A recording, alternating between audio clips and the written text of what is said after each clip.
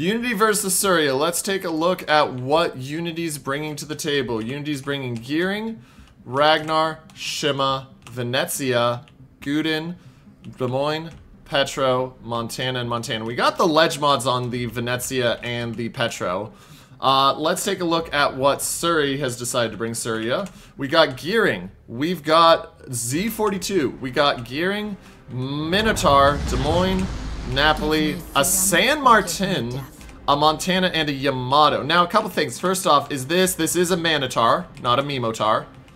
Um, couple interesting things here. San Martin, the first time I've seen one of these, interesting choice. Z42 I really like uh, for this map because you can sit it here to try to defend BC from an early push.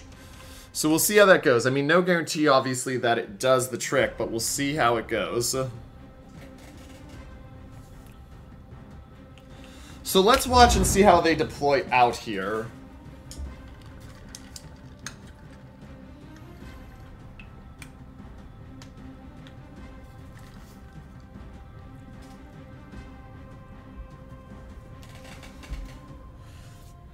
Because this is going to be definitely interesting to see how they do.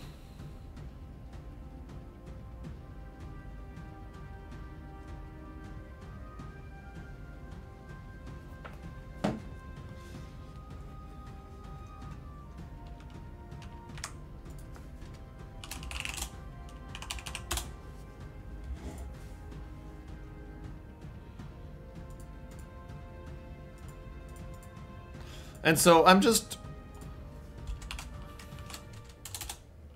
I'm just watching to see how they're going to do this because this setup is going to be, um, it'll be interesting to see. It'll be interesting to see.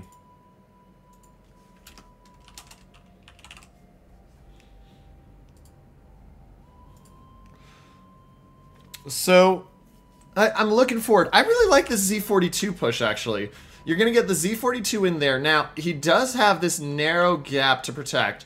And the Petro is going to have the radar range, but this Z42, one, if something tries to run there, he's set up. Two, he can just sit there. Like, we'll see if the radar goes, but it's definitely going to be interesting to see how he does here.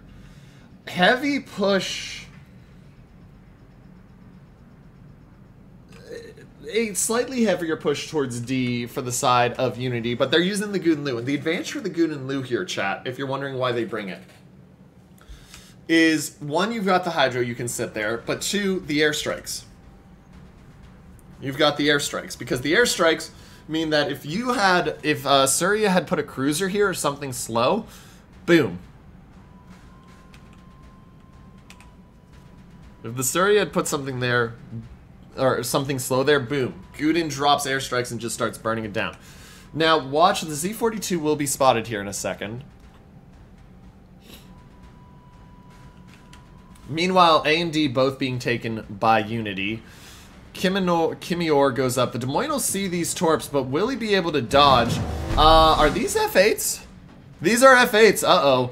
Uh-oh. If he takes these, oh, they run out of range. I was going to say, if he takes those, those are going to do some work. The Z42 is spotted. Both caps taken successfully by the side of Unity. So they get the early cap advantage, and their Z42 of Defreb for Suria is just getting absolutely, absolutely roasted right now.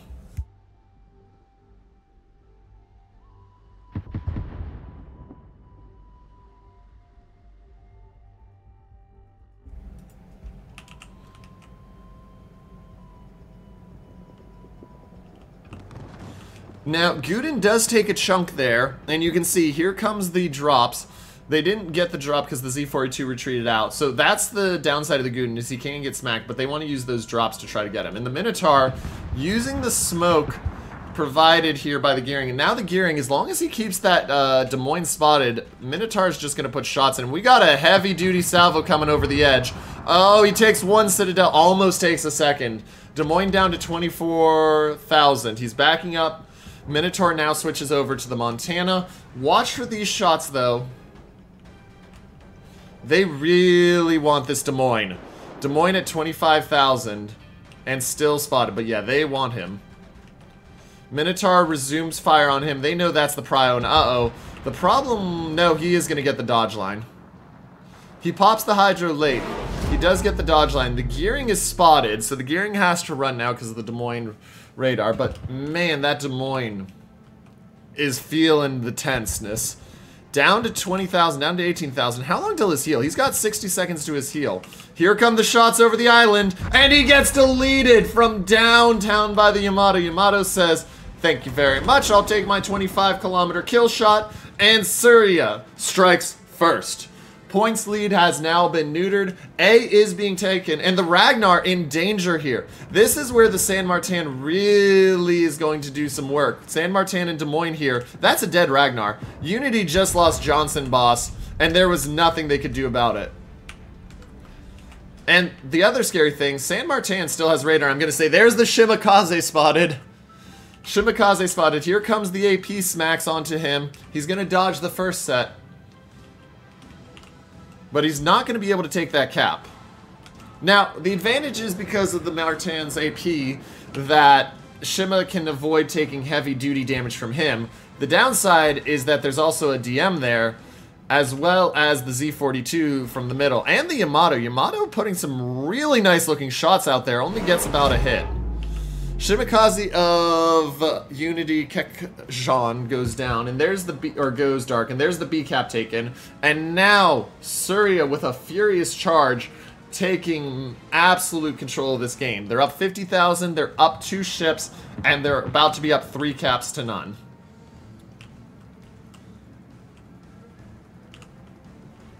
I actually think that he should have been firing AP there on the Des Moines because yet now it would have stopped. But your first two salvos, if they're uh, AP, you might catch that Petro broadside. And remember, Petro has the raised freeboard now, so it's not impossible to Citadel.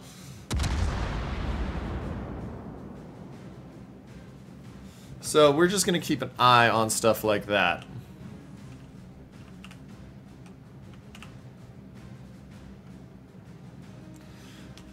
Petro isn't spotted. The Venezia and the Gouden are. Gouden's gonna drop the bombs on the Z42. Not a bad bomb drop. Is it gonna hit? It's just gonna miss though. They do force the Z42 back, but three caps and a 200 plus point lead.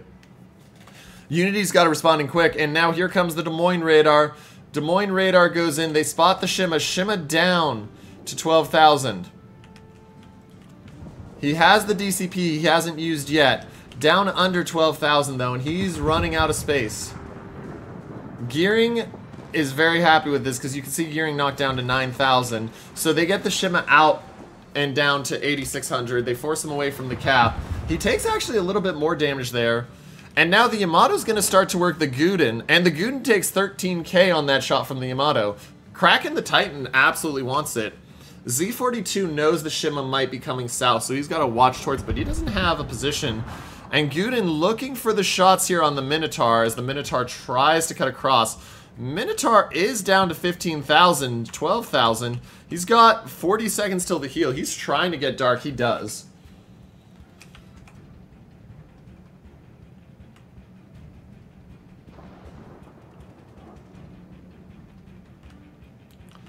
And now the Montana starts to get farmed, slowly but surely.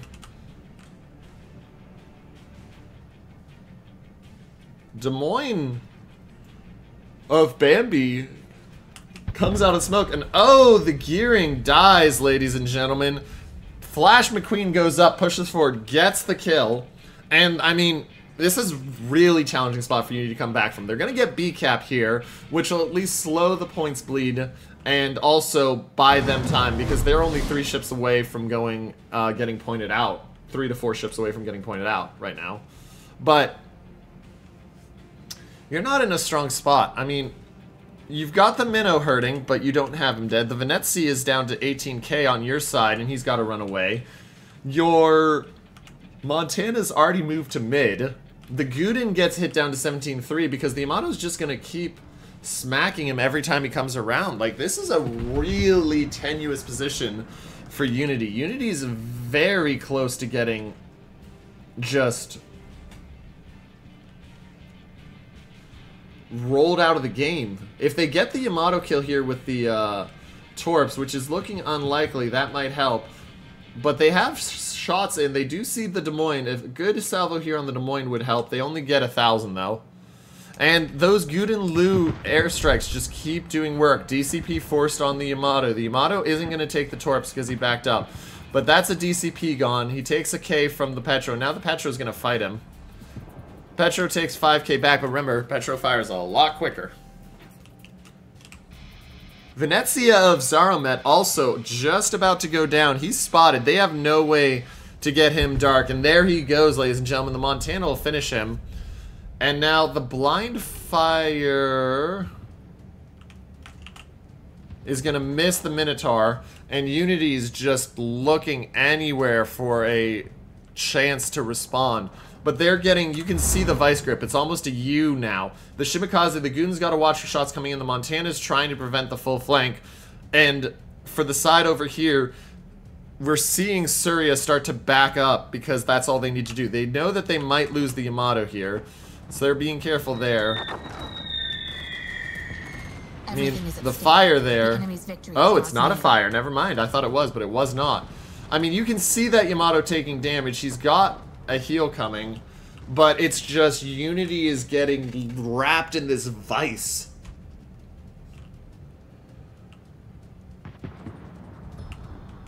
The Montana will pop shots on the Gouden. He needs to kill the Gouden right here.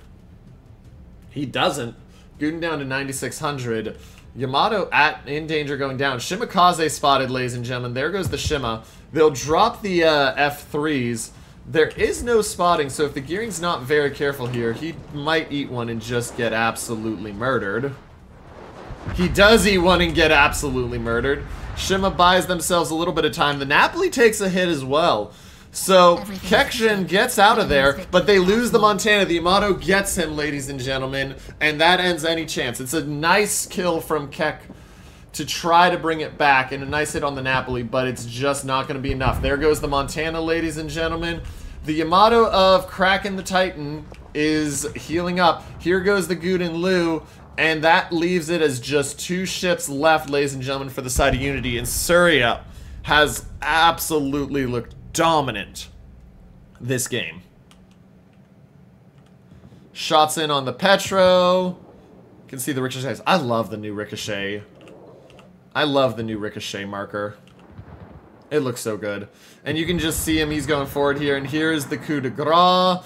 The Torps, ladies and gentlemen, right there. That will do it. And your winner, taking this game, their first game of the series, is the side of Suria.